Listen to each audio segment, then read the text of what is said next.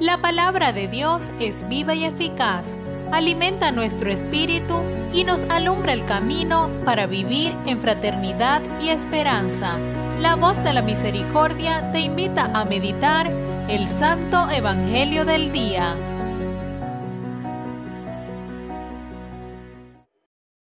En el nombre del Padre y del Hijo y del Espíritu Santo. Amén. Amados hermanos, hoy domingo 11 de febrero. En este día iniciamos la sexta semana del tiempo ordinario. Celebramos también este día la Jornada Mundial del Enfermo.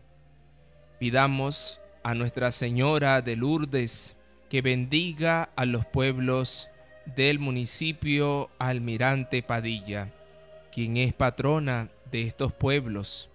Que María Santísima les guarde y les proteja siempre.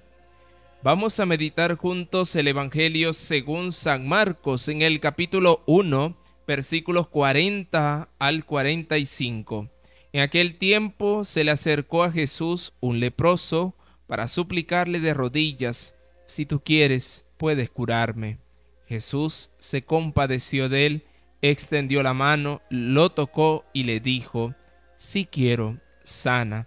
Inmediatamente se le quitó la lepra y quedó limpio.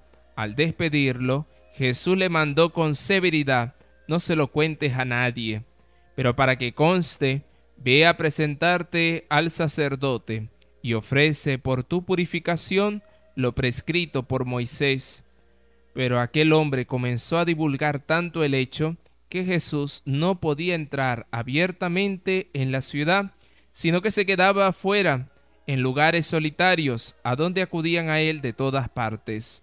Palabra del Señor, gloria a ti, Señor Jesús. Mis amados hermanos, sean bienvenidos a este su encuentro diario de la meditación del Evangelio del día por tu emisora católica La Voz de la Misericordia quien les acompaña su amigo y hermano seminarista Aulo González. Hermanos, un leproso era sometido al escarnio público, aislado, en condiciones inhumanas, en condiciones de soledad, de tristeza, de dolor. Mas Jesús le devuelve la vida, le devuelve la alegría, la esperanza, le abraza en amor. Este leproso se acerca y le dice, Señor, si tú quieres puedes curarme.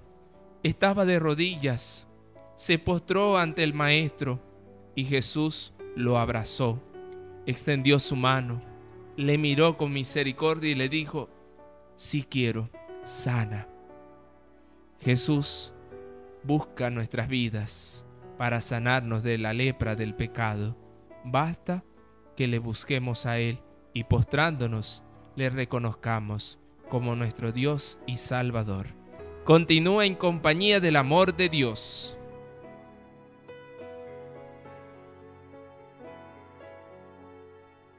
Tu palabra es lámpara en mis pasos y luz en mi sendero.